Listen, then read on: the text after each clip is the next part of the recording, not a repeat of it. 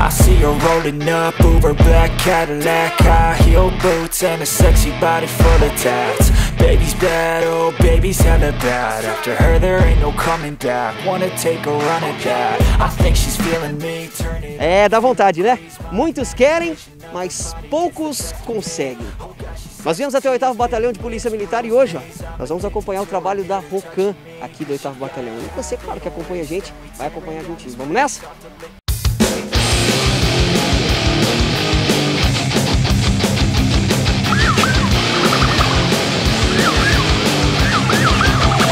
Bom, e ao meu lado está o primeiro sargento Guimarães, ele que é responsável pelas Rocans aqui da cidade de Paranavaí. Sargento, conta pra gente qual a importância da vinda dessas motocicletas aqui para o 8 Batalhão da cidade de Paranavaí. Bom dia, Rodrigo. A vinda dessas motos foi muito importante para nós, que representa uma nova geração de viaturas.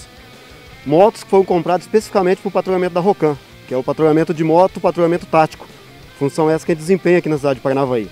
São motos de altas cilindradas, com maior segurança para o policial, que essas motos vêm equipadas com controle de tração, com freio ABS, com maiores dispositivos de segurança, para garantir que o policial possa desempenhar sua função com menor risco de, cometer- de acontecer algum acidente com ele.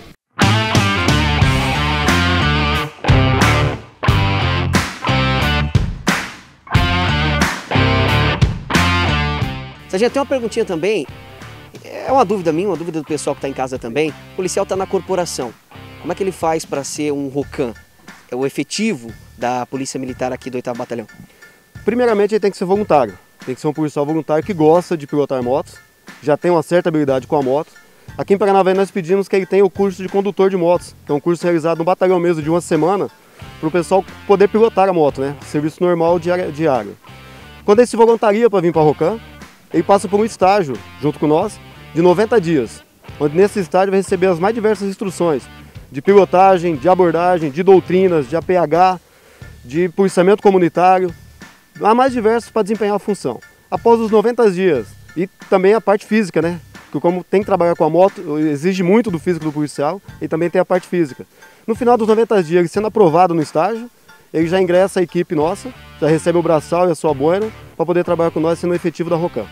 Hoje, hoje no estado do Paraná nós temos o curso de Rocan, que é um curso realizado em Curitiba, onde o policial dura em torno de três meses do curso e o policial sai com o título de cavaleiro de aço.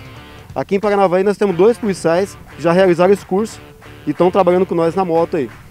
Quer dizer, policial mais bem preparado para dar uma segurança ainda maior para a população, né? Com toda certeza, o curso aí capaci- capacita ainda mais o policial para garantir mais o bom atendimento ao público na rua e a segurança do policial desempenhar a função.